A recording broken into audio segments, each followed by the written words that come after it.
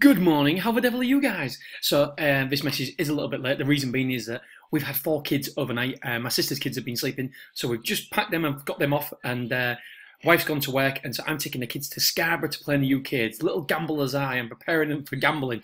Right, uh, today I want to talk to you about uh, the lay to back page. We don't really do too many videos about the lay to back page, and I think it's underutilized, or certainly by myself probably as well, as much as anybody else. So for me, it's a really, really, really Oh, stop saying really. It's a very, very, it's a very, very good page um, that I think that everybody should be using if you're a member of the software. Um, so lay to back, so we just press lay to back here. And by the way, let's go through the settings first of all. So these settings are basically saying, show me horses that have never dobbed. On the lay to back ones, this means never dobbed. So I'm saying I don't want to see horses that have dobbed. So, so in last three runnings, uh, the criteria is show me horses that haven't dobbed in the last three runnings. Um, you can obviously change this to more. You can change this to less as well. Um, display today. The green and gold, very, very interesting. I'm saying on the gold, show me horses that haven't decreased in price by more than 10%. Show me horses that haven't decreased in price by more than 10%. And show me horses here that haven't decreased in price by more than 20% of the horses that haven't dobbed in the last three runnings. Hopefully, I've explained it well. I feel like I have done. Um, so I've run the report, and these are the horses that have never dobbed in the last three runnings. As you can see, dob percentage is nothing there. So we know that these haven't dobbed, and so that is useful information for us moving forward. We also have the average difference there. Um, it's a new column that we've only just uh, started yesterday. Average uh, difference or average decrease, sorry, it's average decrease. Average decrease means the average the horse has decreased. What percentage in the last I think it's five runnings. Um, yeah, it's five runnings. Has this horse decreased? What is the percentage this horse has decreased in the last five runnings? And this one has decreased on average by 31%. So you can sort it by that as well if you want. You can do so many different things now. And like I said, we keep improving this software all the time. This one has only decreased. Mind you, look at the price. It's 75.56 or 75, so it's not really worth it. That one has decreased by 10, so it's not really 10%, so it's not really worth on average a thousand. This one has only decreased by 13. Actually, this one is the one I've been looking at today. Uh, this week meets my criteria. 100% of the time, it's hit my gold column in the last three runs. So what's my gold column? 20%. So this horse has not decreased in price by more than 20% in the last three runs. It's also, in the last five runs, got an average decrease of just 13%. That's incredible.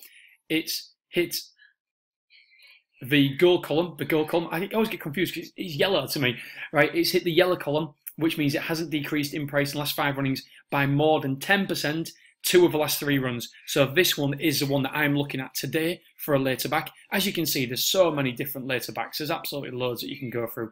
Um, and like I say, lay to backs is possibly the safest way to trade as long as you get your stop loss right. Getting your stop loss right is the way for that is definitely the key to trading lay to back. So we've done a trading on manual stop loss as well. As soon as the software is able to take bets, actually put your bets on through the uh, Betfair interface, and I will do a training on the stop loss in that because obviously there's a, there's a stop loss involved in the software as well. So this is a one for me, 410 uh, straight run. I think it's how you spell it. I'm terrible at reading, as you guys know. I'm absolutely useless. There's no point in pretending otherwise. So as we can see here, it's decreased by uh, 4.35%. It hasn't decreased at all here and it has gone down 10.34%. So it's nearly 100% on the gold, only by 0.34%. So as you can see, one tick, it went up two ticks and three ticks down. So it doesn't decrease in price very much at all. Midfield pushed along and lost pace. And the price was 23s uh, here, held up some headway, three out, but never able to trouble leaders in touch, ridden along, and outpaced after three out. Never a threat. I mean, these are beautiful. These are beautiful comments in running for a horse that held up, not fluent fifth, never threatened. Ah, oh, it's just beautiful. Here, close up, ridden, and every chance. Weakened, went down 24 ticks. That was that was some time ago. It was last year, um, 23rd of April. So it was last season. So um, you always got to do do your research. But at the minute, this one looks perfect for me for a lay to back. Um, the last three runs are the ones I'm primarily interested in, although I will go back further, four and five.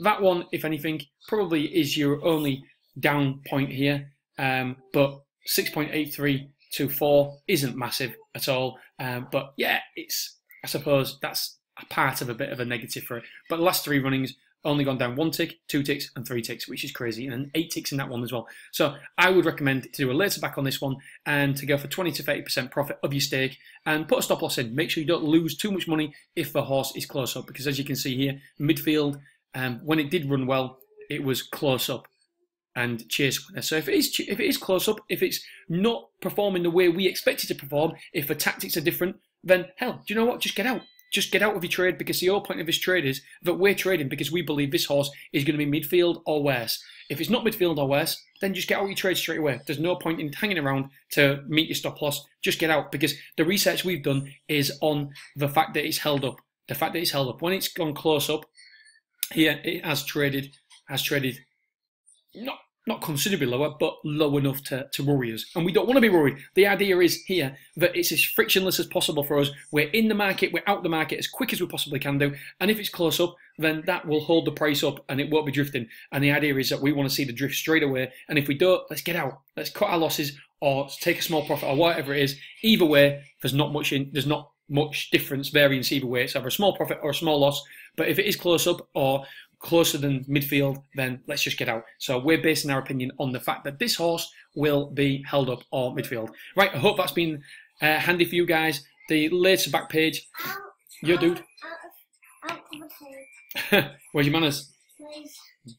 Always use manners. Give us a thumbs up, guys, and I'm going to make this little a cup of tea. We're off to Scarborough now to play in the UKs and cheer the horses on and uh, go on the go karts. I love the go karts. All right, guys, girls, have an amazing day and good luck whatever you're doing today trading. I will be back tomorrow for another video, but you can't wait. have a great day. Bye. Have a great what? Have a great day. Bye. See you soon.